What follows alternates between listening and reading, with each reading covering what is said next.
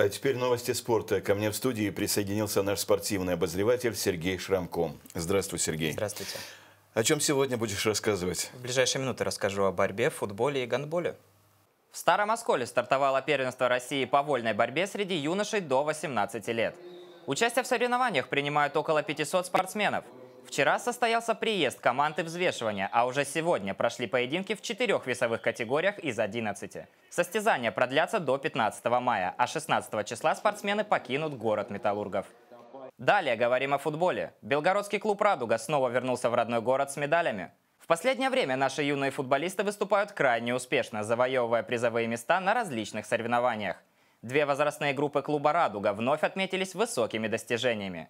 Команда 2008 года рождения заняла третье место на Староскольском турнире «Оскольская весна». Также представителю нашего клуба досталась почетная награда лучшего полузащитника соревнований. Ребятам 2006 года удалось заполучить серебро на всероссийском турнире «Кубок Победы», проходившем в Московской области. Футболисты этого возраста тоже получили индивидуальные призы – лучшему бомбардиру и лучшему защитнику – Особой наградой был отмечен и Сергей Корсаков, опытный тренер, работающий с обеими возрастными группами «Радуги».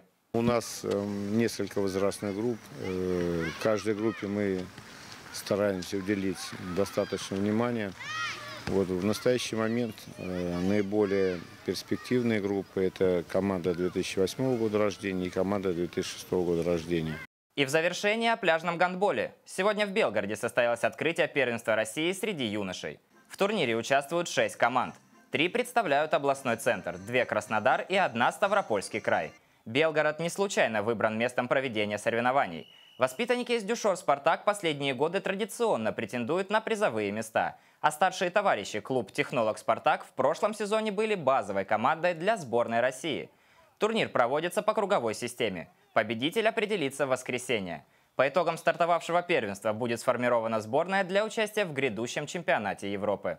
А на этом у меня все. В студии работал Сергей Шрамко. Всего вам самого доброго и хороших выходных. Спасибо, Сергей. Напомню, что спортивные обзоры выходят в эфир на нашем канале по вторникам и пятницам.